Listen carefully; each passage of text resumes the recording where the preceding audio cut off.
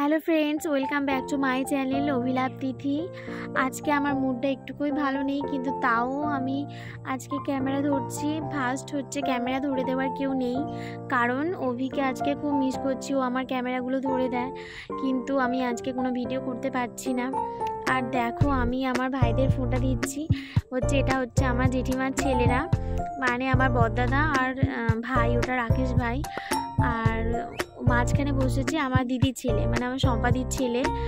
তো ও হচ্ছে অনিক। যেহেতু ডলের দাদা হবে, তো ডল আজকে প্রথম ফোঁটা দেবে। আগের বারও দিয়েছিল, কিন্তু ও এত ছোট ছিল, কিছু বুঝতে পারেনি, কান্নাকাটি করেছে। তো এবার ওকে দিয়ে ফোঁটা দিয়েছি। আর দাদারা, দাদা বলতে রাকেশ ভাই কোথাও বেরোবে, সেই জন্য ওদের একটু আগেই ফোঁটাটা দিয়ে নিলাম। আর এরপরে ভাই বিছানায় ওয়েট করছে। আর দাদা এলে ওরা রেডি হবে, তারপর ফোঁটা দিতে বসবো। আর ডল কিন্তু আজকে সারাদিন খুব এক্সাইটেড ও ফোঁটার ব্যাপারটা কি দেখো, ওর মুখ দেখে বুঝতে পারছ কতটা খুশি। হ্যাঁ তারপরে দেখো আমার দাদা ভাই আর ওটা মামা, কারণ মা একসাথেই ফোঁটা দিয়ে দিলাম আমরা সবাই। আর ডল, আমি দাদাদের ফোঁটা দিচ্ছিলাম বলে ও কিন্তু আমার দাদাদেরও কপালে ফোঁটা দিয়ে দিয়েছে। আর দাদা ভাইদের সাথে একটু সেলফি তুলছি। আর মোটামুটি ভালোই কাটছে, তার মধ্যেও আমার একটু খারাপ লাগছে। কালকে রাত্রিরে ডল পড়ে গেছে মানে ঘুরতে ঘুরতে বিছানায় লেগে ওর কপালের এক সাইডটা প্রচণ্ড চোট পেয়েছে, রক্ত জমে গিয়েছিল এবং সব কিছু মানে কাটাচ্ছি কিন্তু তাও একটা মনের মধ্যে কষ্ট হচ্ছে, তাও আবার ওর পাপা চলে গেছে। কারণ অফিসের কাজ তো যেতেই হবে। এই কারণে একটু আপসেট তো রয়েইছি। তো মা হচ্ছে মামাকে খেতে দিয়েছে ডলে ওখানে আছে। ও দেখছে সব কিছু আজকের অনুষ্ঠান।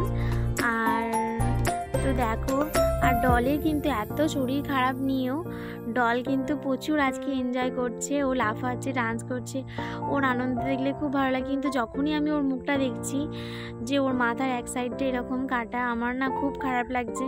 যেহেতু আমি ওখানে একা থাকি, কিন্তু সেখানে ডল কিন্তু এরকম কোনো ধরনের কিছু হয় না। আমি সারা দিনই ওকে খুব একটা রাখি চোখে চোখে। আর মা এখন ঘর ঝাড় দিচ্ছে। আর তো আজকে তোমাদের দেখাই আমাদের কি কি মেনু হয়েছে। দেখো এখানে মাটন কষা, আর সব কিছুই কিন্তু মা বানিয়েছে। আর মাটন কষা, তো পায়েস, আর দেখো চাটনি, আমি কিন্তু হ্যাঁ চাটনি, আর ডাল। দাঁড়া শোনাই আর দেখো আমার মেয়ে এখন আমার কাছে চলে এসেছে। শাক ভাজা, আলু ভাজা, মাছ ভাজা, পটল ভাজা, বেগুন ভাজা।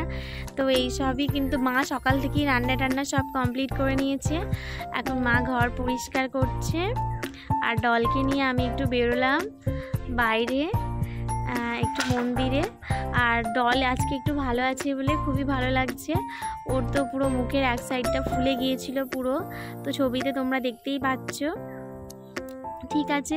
ভিডিওটা আজকের মতো এখানেই শেষ করছি। আর প্লিজ যারা যারা চ্যানেলটি সাবস্ক্রাইব করনি প্লিজ সাবস্ক্রাইব করে দিও। ওকে টাটা বাই